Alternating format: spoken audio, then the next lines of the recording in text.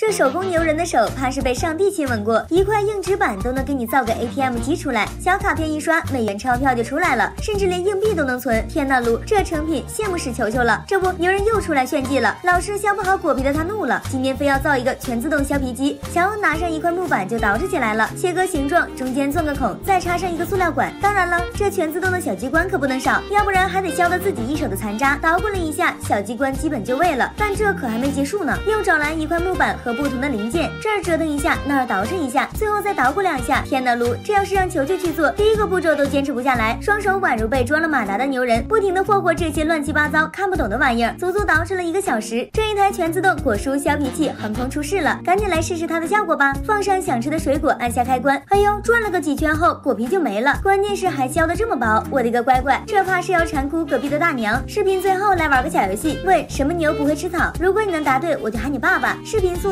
来云网络，我们下期再见。